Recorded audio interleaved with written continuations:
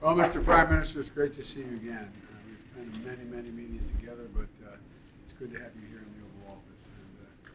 And, uh, And you're welcome despite, despite the World Cup match. Yeah, sorry. And In spite of that, uh, you know, you're one of our strongest allies and personal friends, and you've been a great, great personal ally as well. Together, we're stepping up our protection for democratic values across the world, and uh, and we're, you know, uh, including standing strong with Ukraine. You- You've been very, very stalwart, and we look to you as well to make sure we have a coherent European response, all Europe, response to Ukraine.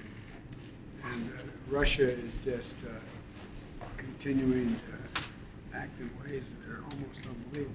The brutality with this they're. Together, we're promoting human rights and the rule of law. We're going to be co-hosting uh, the next summit, uh, the- the Summit of Democracies in March, which uh, we'll be together again. And uh, there's a lot that we have to work on together. Uh, And uh, together, we're working on how to keep a free and open Indo-Pacific, and quite frankly, meet the challenges of China. Simply put, our companies, our countries have been so far in just lockstep in what we've done and our vision for the future. And So today, I look forward to discussing uh, how we can further deepen our relationship and securing our supply chains to strengthen our transatlantic partnership. And thank you again, Mr. Minister. We've had a great relationship with both our countries and personally, and I look forward to discussing a lot more in detail.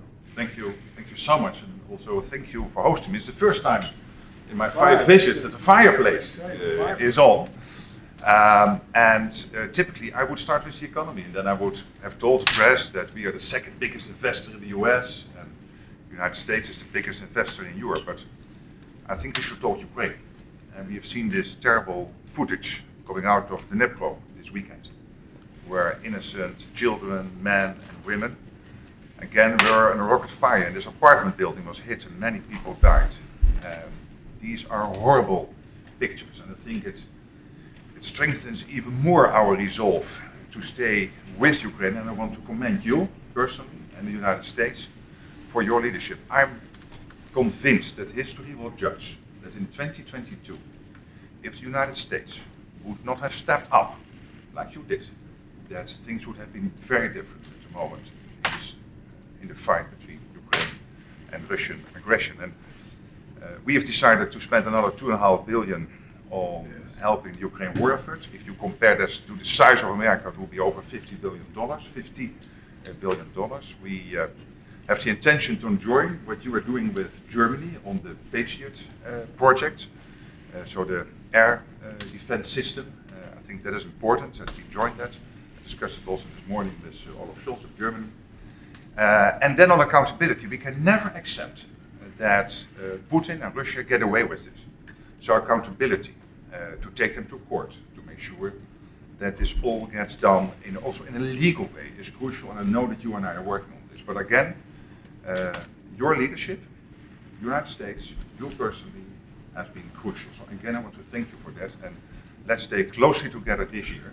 And hopefully, things will move um, yeah, forward in a way which is acceptable for Ukraine. They've done so much, and this year will be important. So Yeah, again, one of the things, if I just add very quickly, Europe continues to step up, and respond to Russian action. There's more to do, and uh, we, uh, we have to stay together. And it's been, been really, really, really important that you've been there every single step